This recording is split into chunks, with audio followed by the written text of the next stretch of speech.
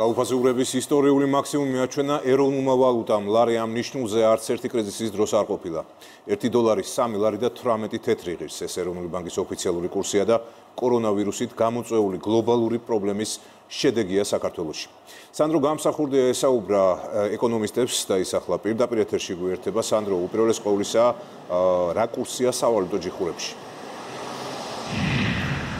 სავალიდო ჯიხურებში 1 ამერიკული დოლარის ღირებულება არის 3 ლარი და 20 თეთრი, 1 ევრო შეძენა ამ დროისთვის შესაძლებელია 3 ლარი და 45 თეთრად, რაც შეეხება ბრიტანულ ფუნტ სტერლინგს, 1 ფუნტი სტერლინგის ღირებულება არის 3 ლარი და 85 თეთრი. ეს არის ეროვნული ვალუტის გაუფასურების ისტორიული მაქსიმუმი, როგორც ეკონომისტები ამბობენ, ეს შედეგი ცალსახად განპირობებული არის კორონავირუსის პანდემიით და ამ პრობლემის წინაშე არა მხოლოდ საქართველოს, არამედ რეგიონის ყველა ქვეყანა და მსოფლიოს არაერთი ქვეყანა დგას. მათი აზრით, ეროვნული ვალუტის გამყარება დაიწყება მას შემდეგ, რაც მსოფლიოში გადაიდგმება კორონავირუსის წინააღმდეგ ბრძოლაში.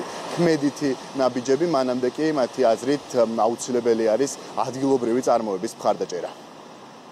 აგული ქვეყნების მიხედვით სიტუაცია განსხვავებულია, მაგრამ ძირითადში შეიძლება ითქვას, რომ ამერიკულ დოლართან მიმართებაში ეროვნული ვალუტები უფასურდებიან სოფლიოს მასშტაბით. ჩვენ ვართ იმპორტდამოკიდებული ქვეყანა, შესაბამისად ჩვენთვის ლარის გაუფასურება პროდუქციის გაძვირებას ნიშნავს ავტომატურად მაღაზიებში ადგილობრივი წარმოება. თუ ჩვენ გვექნება საკმარისი მოცულობით ეს კარგი იქნება იმისთვის რომ ლარის გაუფასურება ყოველ ჯერზე ყოველდღიურად არაძვირებდეს ფასებს მაღაზიებში. თუ წამალი დროზე არ იქნა გამოგონებული ძალიან გაჭირდება ეკონომიკური პროცესების მართვა მთელ სოფლიოში. განსაკუთრებით კი ისეთ პატარა და მცირე ეკონომიკის მქონე ქვეყნებში როგორც საქართველოა. საქართველოში ჯერჯერობით მოლოდინებზე საუბარი რთულია გარკვეული რაღაც პროგნოზების გაკეთება რთულია რთულია იმდენად რამდენადაც ზოგადად ვითარება არის ამ ეტაპზე არაპროგნოზირებადი. შესაბამისად კურსის გაუფასურება ბუნებრივია გამოწვეული არის იმ ფაქტორებიდან რასაც კორონავირუსი ქვია. არის აუცილებლად გამყარდება და დაუბრუნდება ძველ ნიშნულს